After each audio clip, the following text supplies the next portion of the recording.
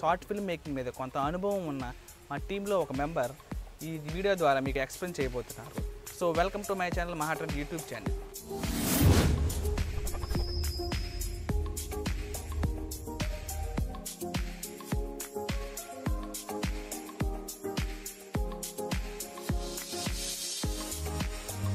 Short film ఎలా తీయాలి? ఎలా ఎడిట్ చేయాలి? ఎలా యూట్యూబ్లో అప్లోడ్ చేయాలి? అని తెలుసుకోవాలనుకుంటే మాత్రం మీరు రైట్ ప్లేస్కి వచ్చినట్టే.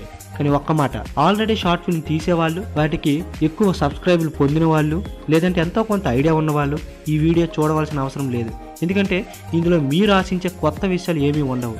సో క్లోజ్ ద వీడియో కానీ షార్ట్ ఫిల్మ్ ఇంట్రెస్ట్ ఉండి తీయలేని వాళ్ళకి మాత్రం ఇది ఒక మంచి tutorial so let get started ఒక మంచి కథ ఎప్పుడు అకస్మాత్తుగా పుట్టదు. నిన్ను ప్రతిక్షణం వేధిస్తూ వెంటాడుతూ హృదయాంతరాలలో అలుపెరగని శ్వాసతో గెలుపెరగని వాటంతో గమ్యం తెలియని చోటికి నీవు లేని మరో చోటికి చేరినప్పుడు రగులుతున్న మెదడు నుండి పుడుతుంది.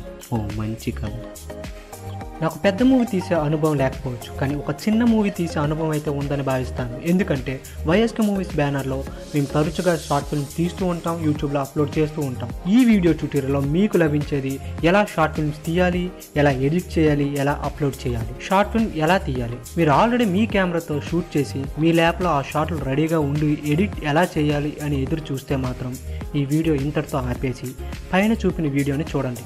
అందులో ఎలా ఎడిట్ చేయాలి అని ఉంటుంది. ఇంకా ఎలా అప్లోడ్ చేయాలో కూడా తెలుస్తుంది.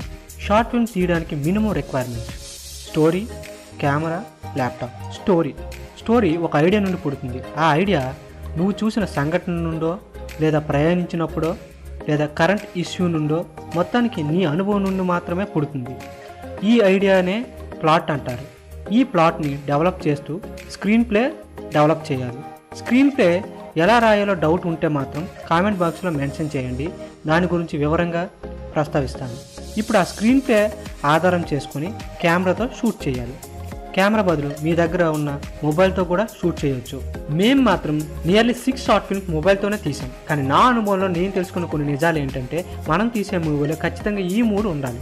అదేంటంటే good quality good music good location thank you have nice so అంతేకాకుండా స్క్రీన్ ప్లే గురించి స్టోరీ బోర్డు గురించి తెలుసుకోవాలనుకుంటే KRR class rooms Paruchuru Gopalakrishna కిన్నోసెపి యూట్యూబ్ ఛానల్స్ని ఫాలో అవ్వండి.